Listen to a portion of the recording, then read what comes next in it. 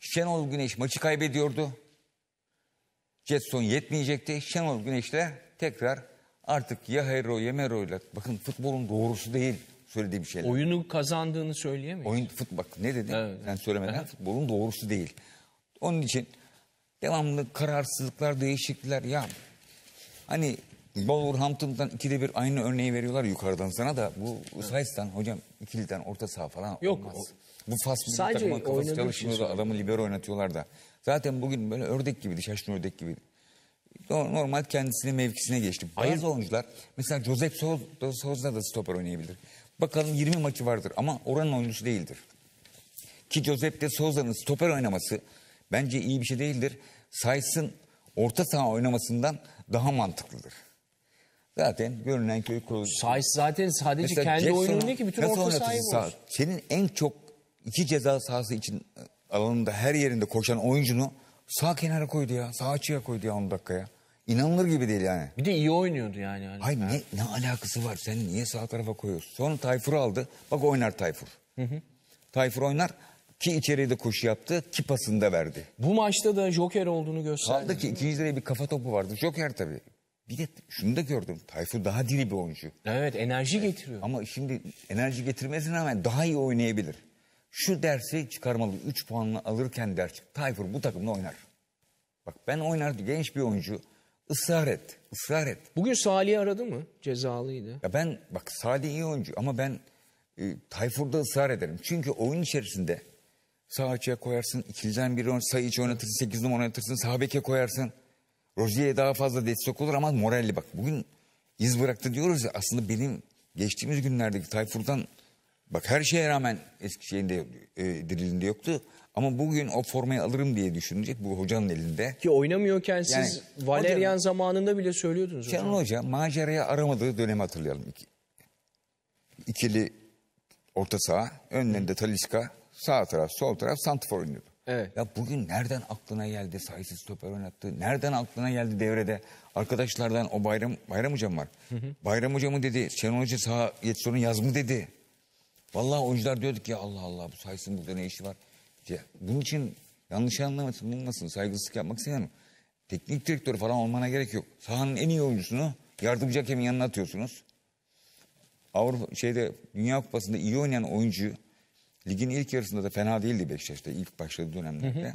Ve siz bu oyuncuyu birdenbire sol orta şey, ikilinin birincisi olarak oynatıyorsunuz. Ama herkes bakalım oyunun son bölümüne yine kadroyu koyalım. Herkes oynaması gereken mevkide. Risk Son- almasına rağmen. Şimdi Tayfur orta saha oyuncusudur. İçeriye girebilir, geri gelebilir, hücuma gidebilir. Öyle gol oldu. Cenk'i yerine kim girdi oyunun son bölümünde? Delali girdi. Delali bir girdi. son vardı. Evet bir de Delali var.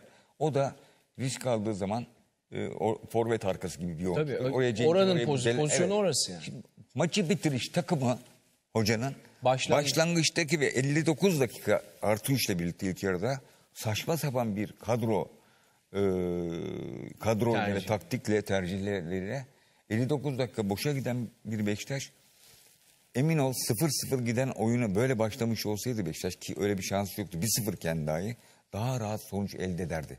Tamamen şuursuz cümleler ama tamamen rakibin çok çabuk ikinci bölüyü geçme ama yine de tamamen rakibin üçüncü alanda olduğu pas tercihleri ve erken vuruşlarından dolayı bu maçı Beşiktaş 2-1 kazandı onu söyleyebilirim.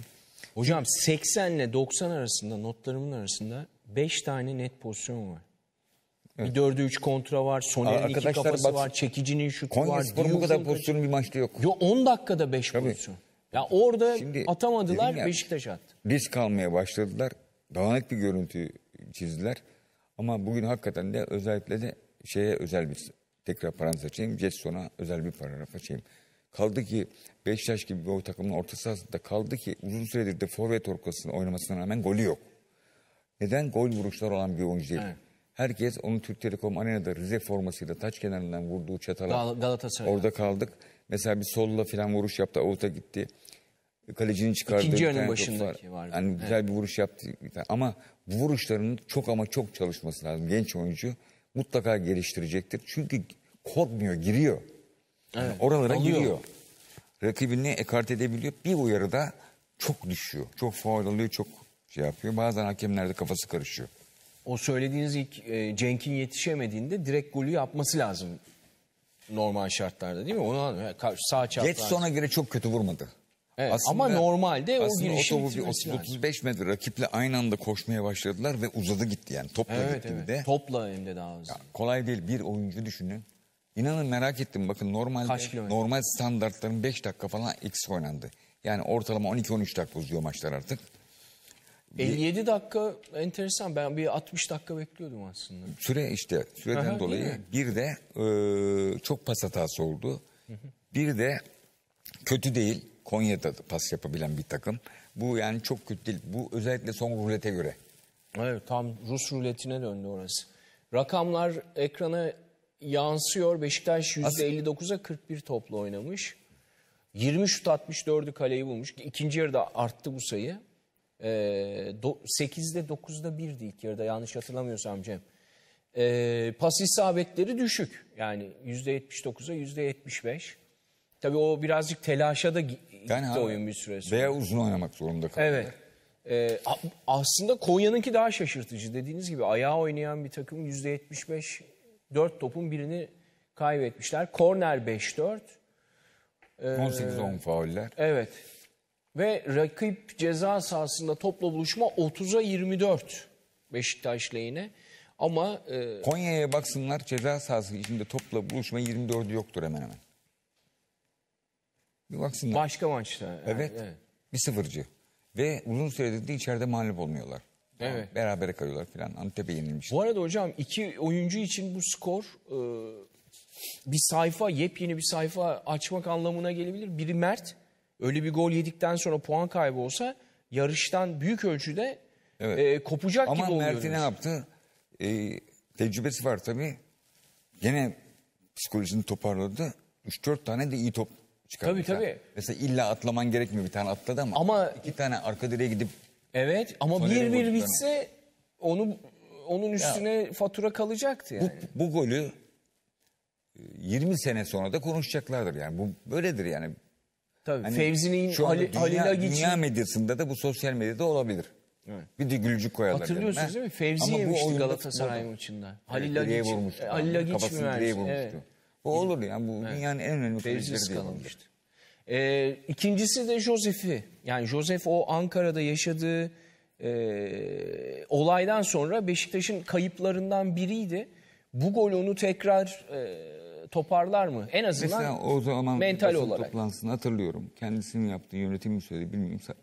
Haklı olduğu konuda yap yani yanlış bir şey yaptı. Nereye gideceksin yani bu saatten sonra? Beşiktaş gibi bir takımda oynuyorsun. Ondan sonra da o demecinden sonra olaydan Hep sonra düştü. düştü. Yani performansı Dediğinde doğru şu gol onu bir Kendine getirir. getirmesi. Ama tekrar söylüyorum.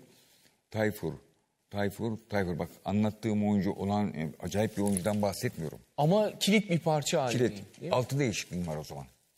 O oynadığı gün 6 veya 7 değişikliğin olabilir senin saha içerisinde. Mesela Jetson'un ikiliden biri olması, forvet arakusu olması başka bir şey. Sağ kenarında çok başka bir şey. Tabii. Her şeye yardım etti. Gerçekten bugün Ama- e, net gözüktü Tayfur'un ne kadar büyük bir joker olduğu. Aynen. Ama en e, önemli, tabii bravo ben aynı söyleyecektim. Çok önemli bir joker olarak. Peki Ama hocam- şimdi onu joker olarak o- 11 ile başlayacaksın. Israr edeceksin bu oyuncuya.